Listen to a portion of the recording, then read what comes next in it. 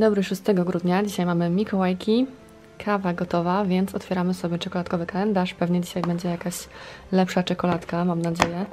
Nawet okienko jest większe i mamy takiego bałwanka.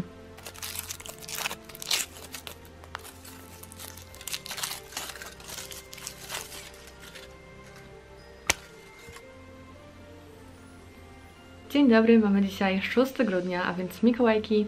Ja wpadłam tylko na chwilkę się przywitać, bo skończyliśmy właśnie pracę i zaraz wybieramy się e, do miasta, e, bo jestem pierwszy raz w takim okresie świątecznym w Warszawie chyba w życiu, więc idziemy zobaczyć jak to wszystko wygląda. Słyszałam, że najbardziej przystrojone zawsze jest Stare Miasto i Nowy Świat, także pewnie tam gdzieś się wybierzemy. E, zobaczymy, czy jest już w ogóle jarmark bożonarodzeniowy na Starym Mieście, Mm, także mam nadzieję, że uda mi się coś tam nagrać i będzie tutaj też dużo takich fajnych świątecznych akcentów. Pierwsze grzane winko w sezonie. Jakaś skrzynka na listę dla świętego Mikołaja chyba.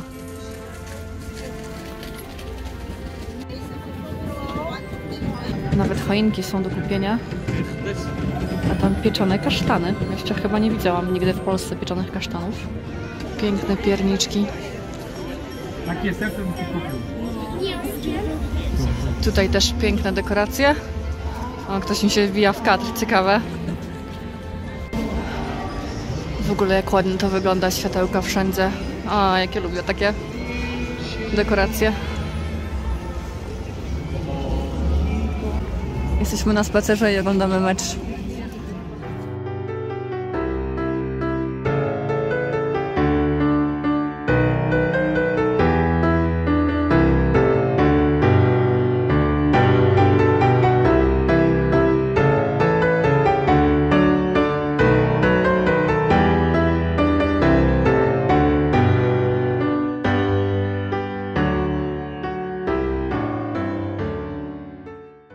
Dzień dobry, mamy piątek 9 grudnia, a do mnie wczoraj wieczorem dotarł kalendarz adwentowy, o którym Wam mówiłam. Są to kosmetyki marki Kores. Szczerze powiem, że nie znam tej firmy, natomiast czytałam o niej bardzo dobre opinie. Są to naturalne greckie kosmetyki. No i co? Myślę, że kalendarz adwentowy jest takim dobrym sposobem, żeby jakiś nowy kosmetyk wypróbować e, i jakąś nową markę, także mam nadzieję, że się sprawdzi i że te opinie, które czytałam, się potwierdzą. Tutaj w ogóle jest napisane, że w środku jest jakiś Lucky Charm. Ciekawe, czy on jest, tak wiecie, osobno, czy w tym kalendarzu, w którymś okienku się znajduje. E, Myślę, że zaraz się przekonamy, bo do otworzenia mamy aż 9 okienek. Tak kalendarz wygląda w środku. Te okienka nie są po kolei, więc będziemy sobie szukać. Dobra, mamy jedynkę. Experience the sense, czyli będzie tu coś zapachowego chyba. Zaraz sobie zobaczymy. Dobra, mamy tutaj kokosowy żel pod prysznic. No pachnie bardzo ładnie rzeczywiście, tylko zobaczcie jaki tu jest od razu fakapik na początek. To opakowanie jest tak jakby pęknięte i tu się trochę z tego wylewa. No rzeczywiście ten zapach bardzo czuć, ale nie jestem przekonana, czy do końca o to im chodziło z tym napisem Experience the Sense. Mam nadzieję, że nie. E, No ładnie pachnie, ale szkoda, że pierwsze okienko i jest po prostu tutaj coś naruszone i pęknięte. Od razu pod spodem jest okienko numer dwa. Miejmy nadzieję, że tym razem będzie trochę lepiej. I tutaj mamy krem do rąk, to akurat mi się teraz przyda, bo właśnie skończyłam taki swój mały torebkowy, więc sobie wrzucę i zawsze będzie pod ręką, bardzo fajnie. To będzie jakiś oliwkowy krem do rąk, czyli rzeczywiście bardzo, bardzo grecki. Jest i trójeczka, także zobaczymy, co tam w trójeczce ciekawego. Tutaj mamy jakąś migdałową maskę do włosów, ale chyba się nam nie wyostrzy. Dobra, szukam okienka numer 4. Tu widzę piątkę, czwórka jest na górze. I w czwórce, w czwórce mamy krem na noc e, z kwiatem dzikiej róży, także bardzo jestem ciekawa jak pachnie, ale jak je odkręcam, to one mają ten taki, wiecie co, taką zawleczkę jak pasta do zębów, więc na razie nie będę otwierać, ale jak tylko użyję, to podzielę się takimi pierwszymi wrażeniami jak to się sprawdza i myślę, że te kosmetyki, które będę otwierać na bieżąco, czyli od jutra, od 10 grudnia, no to od razu sobie będziemy właśnie je otwierać i, i sprawdzać razem tutaj na filmie. Dobra, mamy teraz piątkę. Słuchajcie, ja już się zmęczyłam, wy pewnie trochę też oglądając, ale w razie czego to sobie po prostu przewincie te fragmenty. W piątce mamy, to jest chyba jakiś taki balsam do ciała, coś tutaj mamy z granatem. Tak to wygląda, jakby to był granat. E, czy tu jest napisane, co to jest za zapach? Po angielsku oczywiście, bo po grecku niestety, ale nie przeczytam. Nie wiem, wydaje mi się, że jest to granat. O i zobaczcie, znowu chciałam powąchać, ale to jest tak zabezpieczone. No ale coś tam czuć, pachnie całkiem przyjemnie. Szóstka, może w szóstce na Mikołajki będzie ten Lucky Charm, chociaż jak to nie są polskie kosmetyki, to pewnie, pewnie nie. O, coś tam jest małego, bo nie mogę wyjąć. Znowu mamy krem do rąk z olejkiem migdałowym i z masłem Shea. Spoko, kremów do rąk nigdy za dużo, ale jednak mogłyby się tak szybko nie powtarzać. Mamy jeszcze przecież sporo okienek, także mam nadzieję, że będą jakieś e, jeszcze inne rzeczy. Szukamy siódemki, siódemka jest na górze.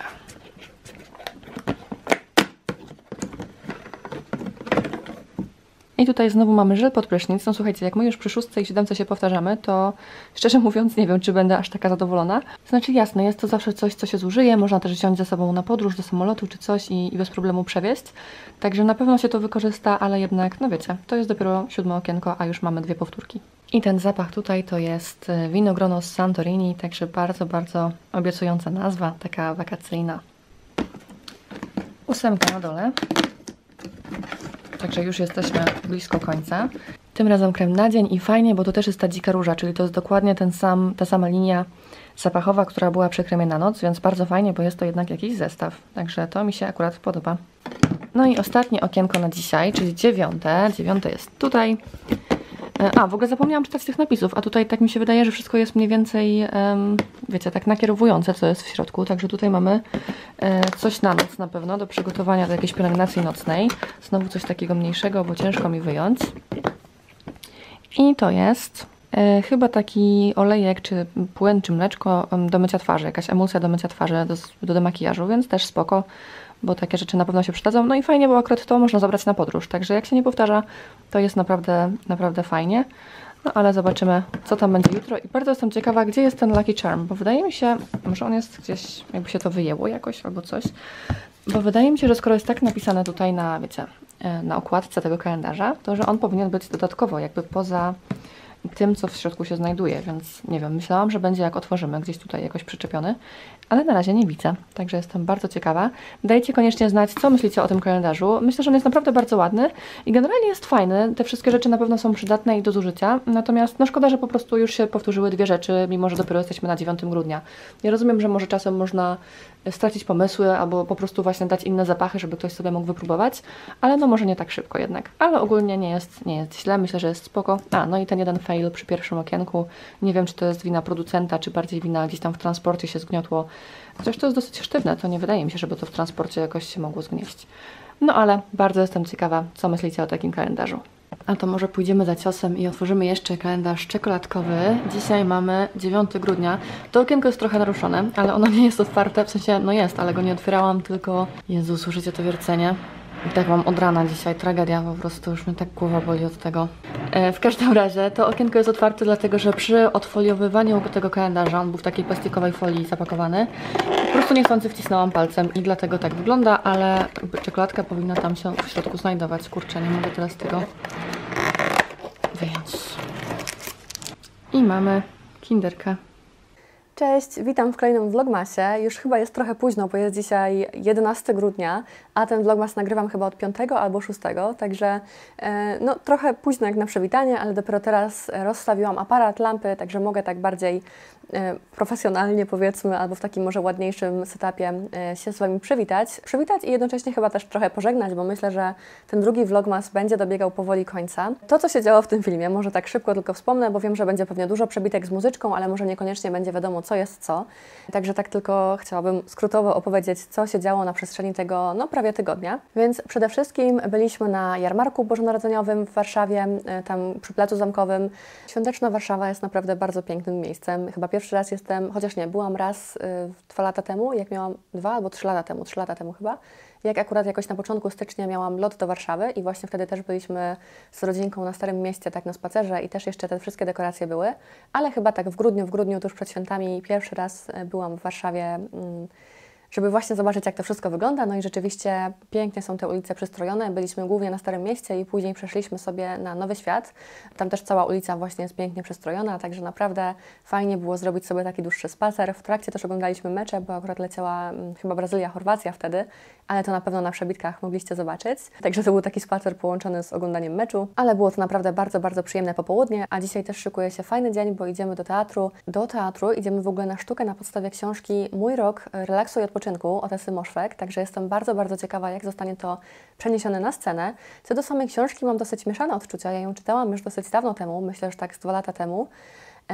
I nie jestem przekonana, czy ona mi się podobała, to znaczy miałam dużo wątpliwości i do tej pory nie wiem. Być może musiałabym ją przeczytać jeszcze raz, żeby się gdzieś tam określić, ale bardzo jestem ciekawa, jak to będzie wyglądało właśnie na scenie. No a poza tym zawsze jest to dobra okazja, żeby się wybrać do teatru, także bardzo się cieszę, że dzisiaj idziemy. E, Jeśli chodzi o książkę, którą czytam w tym vlogmasie, to jest to książka, której oczywiście też nie mam fizycznie. W ogóle, jeżeli macie jakieś propozycje świątecznych książek, które mogłabym przeczytać, to koniecznie dawajcie znać w komentarzach. Nie wiem, czy mówiłam to w poprzednim filmie, jeżeli nie, to mówię teraz. A teraz zabrałam się za książkę, no i znowu mamy święta. I jest to książka, o której nie wiedziałam kompletnie nic, tylko po prostu wybrałam sobie ją z Legimi, gdzieś tam okładka mi się spodobała i stwierdziłam, że dobra, to może to. Zaczęłam ją czytać jakoś w metrze, jak jechałam do pracy i okazało się, że to jest w ogóle powieść młodzieżowa. Liczyłam bardziej na jakieś takie, wiecie, obyczajówki z dorosłymi bohaterami, bohaterami, którzy są bliżej mojego wieku, no ale jak już zaczęłam czytać, to niech będzie. Przeczytałam około 100 stron i na razie nie jestem jakoś szczególnie zachwycona tą książką. W sensie jest taka przyjemna, miła do czytania, właśnie taka idealna na te 20 minut jazdy metrem, czy tam gdzieś przed snem, żeby sobie podczytać, ale też nie jest to nic takiego, tak jak na przykład poprzednia książka, która rzeczywiście bardzo mnie wciągnęła, bardzo mnie zaangażowała. Tak tutaj raczej czytam z doskoku. Jestem gdzieś na około setnej stronie. To jest historia dziewczyny, która e, studiuje w jakiejś takiej akademii, nawet nie pamiętam jak ona się nazywa, jakoś na B, poza swoim miastem rodzinnym. No i nie jest jakoś super popularna na tej uczelni. No i żeby być, to trochę próbuje wykreować się na taką bardzo, bardzo ciekawą postać. I jej sposobem na to jest mówienie o tym, że pochodzi z miasteczka, które nazywa się Christmas. Próbuje bardzo zmienić e, postrzeganie tego miasteczka, to znaczy pisze właśnie na jakiejś stronie uniwersyteckiej, że tam są takie wspaniałe świąteczne atrakcje, że tam naprawdę można poczuć magię świąt, jakieś renifery, śnieg, nie wiadomo co. Nie jest to do końca prawdą, natomiast kiedy jedzie właśnie do domu na święta, spotyka tam swojego kolegę z tego uniwersytetu, który przyjechał, który jest w ogóle Brytyjczykiem i przyjechał do tego miasteczka Christmas, żeby zobaczyć takie prawdziwe amerykańskie święta, no bo naczytał się tego, co ona napisała na tej stronie. Trochę niestety jest rozczarowany tym, co widzi i robi taki zakład właśnie z tą główną bohaterką, która niestety nie pamiętam, jak ma na imię, że nikomu nie powie o tym, jak to miasteczko w rzeczywistości wygląda, jeżeli zapewni jemu i jego ciotce te wszystkie świąteczne rozrywki i ten świąteczny klimat, który obiecała. Nasza główna bohaterka jest trochę zrezygnowana, bo po pierwsze nie za bardzo ma ochoty spędzać czas z Arturem, właśnie z tym kolegą, a po drugie, no nie wszystkie atrakcje uda jej się zorganizować, bo po prostu niektóre są niemożliwe. No ale zawierają taką umowę, no i tak właśnie toczy się ta akcja. Tak naprawdę na razie nic takiego kluczowego się nie wydarzyło, po prostu wrócili do tego miasteczka na święta,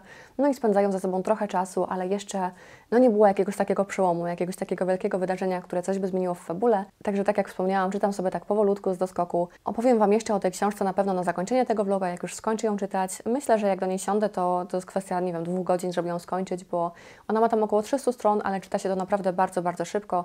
Także mam nadzieję, że być może uda mi się w ciągu kilku dni to zrobić i po prostu dogram to zakończenie do tego vloga. A to, co jeszcze chciałabym Wam pokazać, to widzieliście już pewnie gdzieś na początku, że przyszedł do mnie w końcu kalendarz adwentowy, o którym mówiłam w poprzednim filmie. To jest ten kalendarz kosmetyczny z kosmetykami marki Kores. No i zostawiłam sobie tutaj dwa kolejne okienka. Ostatnio otworzyliśmy do 8 albo do 9. Do 9, tak jest. I 10 i dzisiaj 11 zostawiłam sobie właśnie, żeby też otworzyć razem na filmie, więc zrobimy sobie to teraz. E, dziesiątka, szukamy dziesiątki. Dziesiątka jest tutaj i mamy tutaj Prep for the Night Out, czyli to będzie Night Out, czyli może coś takiego rozświetlającego, jakaś baza rozświetlająca. O Jezu, jakie maleństwo, nie mogę tego wyciągnąć w ogóle. Mamy tutaj taką gąbeczkę, coś ala Beauty Blender. No dobra, może niekoniecznie tego się spodziewałam po opisie przygotuj się na wyjście, no ale niech będzie. I numer 11 mamy tutaj. Też coś strasznie małego, bo nie mogę tego w ogóle wyciągnąć, ale widzę, że jest to jakiś taki aerozol. A jednak nie aerozol, tylko jakaś taka tubka. I mamy tutaj jakieś serum pod oczy chyba. No, także to już ciekawsze. Y, Pojemność to są 4 ml. Tak to wygląda. Postaram się za chwilkę zrobić jakieś zbliżenie, żeby Wam właśnie lepiej pokazać. Jeżeli chodzi o te pozostałe kosmetyki, które tutaj były, to używałam już tych dwóch kremów na dzień i na noc. Ten na dzień jest super, naprawdę bardzo mi się podoba. On ma taką fajną, żelową konsystencję i bardzo fajnie się wchłania. Ten na noc też jest spoko, ale ma taki zapach, niby to jest ta sama linia zapachowa, a jednak, nie wiem, jak go położę na twarz, to jakoś inaczej mi pachnie i trochę, nie wiem z czego to wynika, ale no, różni się trochę. Mimo tego, że jest to dokładnie ta sama seria i ten sam zapach, to jednak ma w sobie coś takiego, co nie podoba mi się aż tak jak w tym na dzień, ale mimo wszystko też jest ok. Użyłam go dopiero raz. No i w zasadzie to są te dwa kosmetyki, których do tej pory użyłam, czyli krem na dzień i na noc. I ten na dzień jest naprawdę spoko, naprawdę całkiem polecam. No ale ta dziesiątka to mnie jednak dzisiaj e, rozczarowała trochę. I właściwie to by było na tyle w tej części vloga. Myślę, że tak na dłużej odezwę się właśnie jeszcze raz, kiedy przeczytam książkę, żeby Wam opowiedzieć troszkę więcej, co myślę na temat tej książki. A tymczasem dziękuję Wam bardzo za obejrzenie tego fragmentu i zapraszam do dalszego oglądania. Jest on, Pałac Kultury. No ale pogoda to się trafiła naprawdę tragiczna. Ale idziemy. Moje biuro jest gdzieś tam mniej więcej. Także już niedaleko. Słuchajcie, przyszła do mnie paczka od wydawnictwa Słowne. E, To jest książka do recenzji Natalii Ojewskiej Zabiłam. Jest to, e, a właściwie są to historie matek skazanych za zbrodnie ludobójstwa w Ruandzie. No taki mało świąteczny temat może, ale wydawało mi się to bardzo ciekawe i bardzo ważne, żeby coś o tym jednak wiedzieć. E, Jeżeli chodzi o samą książkę, no to oczywiście jeszcze jej nie czytałam, bo dopiero dzisiaj do mnie przyszła, ale widzę, że jest tutaj też dużo fotografii różnych. No i myślę, że będzie to bardzo przejmująca lektura. Ale w kopercie była jeszcze jakaś taka prezentowa niespodzianka, także jestem tego bardzo ciekawa. Nie mam pojęcia, co jest w środku, więc sprawdzimy sobie razem. Tu jest w ogóle taki uroczy napis: Szczęście jest proste. No to prawda, jest. Dobra, zaraz sobie to spróbujemy jakoś odwiązać. Ok, tu jest sypełek, więc już widzę, że będę się musiała pomęczyć trochę. Dobra, odłożę aparat tak jak poprzednio i zaraz wrócę e, z rozpakowywaniem. Ok, udało mi się pozbyć sznureczka, więc rozpakowujemy dalej.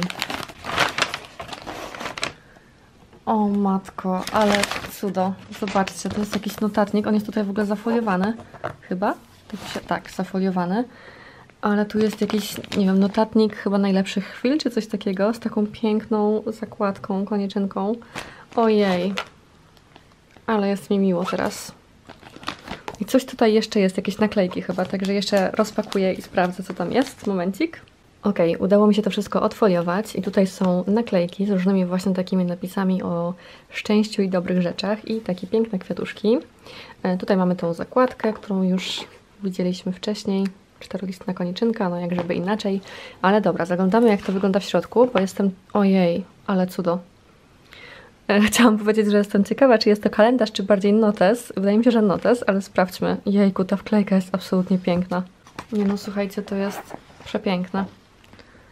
To jest chyba taki bullet journal, już widzę, z tymi kropeczkami, ale to wygląda naprawdę cudownie. Jestem absolutnie zakochana w tych grafikach i w tych wklejkach. Jezu, aż po prostu nie wiem co powiedzieć. Bardzo dziękuję, przepiękny prezent. Przyszła nasza choinka, także zaraz zobaczymy jak wygląda w ogóle. Wyciągniemy ją. Zagnieciona. Co to za worek? To jest ten worek na, podstawkę, na, stojak. No dobra, wyjmujemy chyba.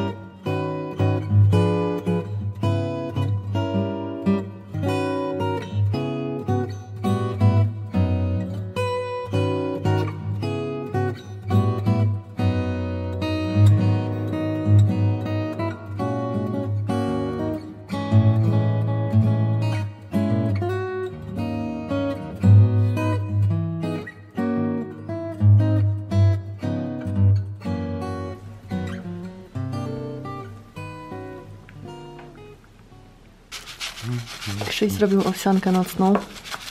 Zobaczymy jutro na śniadanie, czy będzie dobra. Będzie, bo już taką jadą. Cześć, pora w końcu zakończyć tego vlogmasa numer dwa. Troszkę mi się on rozjechał w czasie, bo nie miałam kiedy nagrać właśnie tego podsumowania ostatniego o książce, którą czytałam w tym odcinku. No ale w końcu mam chwilę, więc siadam, nagrywam i mam nadzieję, że uda mi się go szybko zmontować. Duża część już jest zresztą zmontowana i wrzucić po prostu na kanał jeszcze przed weekendem. A więc jeśli chodzi o książkę, którą czytałam, to tak jak Wam mówiłam poprzednio, była to książka, no i znowu mamy święta Tracy Andrin, chyba tak nazywa się autorka, ja tej książki nie mam fizycznie, więc jak zwykle gdzieś obok mnie pojawi się okładka. E, Jeżeli chodzi o fabułę, bo ostatnio jakoś tak nie byłam do końca jeszcze wkręcona w tą książkę, nie do końca wiedziałam o co chodzi, więc myślę, że teraz uda mi się to tak troszkę bardziej składnie powiedzieć. Główną bohaterką jest 16-letnia Finley, która wraca do rodzinnego miasteczka, które swoją drogą nazywa się Christmas, na taką świąteczną przerwę, e, bo na co dzień uczy się w takiej bardzo prestiżowej akademii e, Barrington. No i właśnie wraca do tego swojego domu, ale okazuje się, że wszystko, co zapamiętała, wygląda zupełnie inaczej. Po pierwsze, jej rodzice się rozstali, po drugie, jej najlepsza przyjaciółka spotyka się z jej byłym chłopakiem.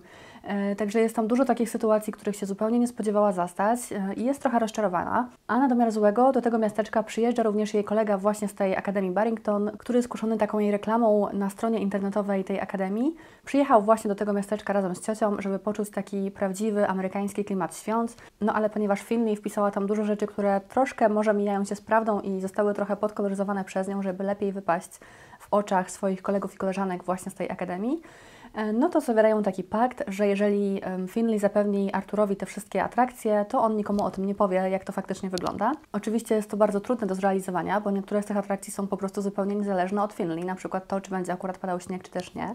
No ale ostatecznie zawierają taką umowę i spędzają razem bardzo, bardzo dużo czasu. No i tak z grubsza prezentuje się fabuła tej książki i w porównaniu do poprzedniej, którą czytałam, to jest taka bardzo, bardzo typowo hallmarkowa, bardzo świąteczna. To wszystko przebiega w takim kierunku, w jakim byśmy tego oczekiwali. Nie ma tutaj żadnych nieoczekiwanych zwrotów akcji. Jest za to mnóstwo nierealnych zbiegów okoliczności, no i wszystko zmierza do szczęśliwego końca. To też ma taki wszystko bardzo, bardzo słodki, świąteczny klimat, ale uwaga, mimo tego, że nie jest to jakaś wybitna książka i raczej nie zapamiętam jej jakoś na bardzo długo i też nie będę chciała do niej wracać na przykład w przyszłym roku, to jednak nie jest taka banalna i taka głupiutka, jak często tego typu książki są. To znaczy czyta się ją dobrze i ona nie wnosi zbyt wiele do naszego życia, ale napisana jest dobrze, poprawnie, dobrze się to czyta. Nie krzywiłam się gdzieś tam w trakcie czytania na język czy na jakieś rozwiązania fabularne. Także nie było źle, ale też na pewno nie jest to nic wyjątkowego. Oceniłam tę książkę na trzy gwiazdki na pięć. Bohaterowie są całkiem przyjemni, chociaż e, no jednak ja szukam takich bardziej książek dla dorosłych, nazwijmy to. W tym sensie, że takich bohaterów bardziej dorosłych, tak jak właśnie było w książce Zdążyć do domu na święta, gdzie bohaterowie mieli około 30 lat i to dużo bardziej mi opowiadało. No tutaj jednak mamy parę nastolatków, więc wygląda to troszkę inaczej, ale jeżeli lubicie takie świąteczne, przyjemne młodzieżówki, no to myślę, że ta książka może Wam się spodobać, bo naprawdę nie uważam, żeby była jakaś bardzo zła, bardzo cringe'owa. Także na święta będzie jak znalazł. I to właściwie tyle, ponieważ no to jest taka książka bardzo oczywista, z bardzo prostą fabułą, to tak naprawdę niewiele więcej mam na jej temat do dodania. Dajcie koniecznie znać, czy przeczytaliście już jakieś świąteczne książki w tym roku, w grudniu, w listopadzie. Jeżeli tak, to dajcie znać, jak Wam się podobały. Myślę, że to by było na tyle, jeżeli chodzi o tego vlogmasa. Tak jak wspomniałam na początku, ja postaram się jeszcze dzisiaj usiąść i go zmontować, tak żeby być może dzisiaj wieczorem albo jutro po południu pojawił się na kanale. Myślę, że pojawi się jeszcze, na pewno pojawi się jeszcze jeden. Wiem, że planowałam cztery, ale nie wiem, czy uda mi się nagrać cztery vlogmasy. Na pewno jeszcze jeden się pojawi, bez książki tym razem, ale będzie w nim book haul. Także jakieś książkowe nawiązanie też się znajdzie, ale może nie uprzedzajmy faktów. Mam nadzieję, że ten drugi vlogmas oglądało Wam się równie przyjemnie co pierwszy. Dziękuję Wam bardzo za to, że jesteście i że oglądacie do samego końca. Do zobaczenia w kolejnym filmie. Cześć!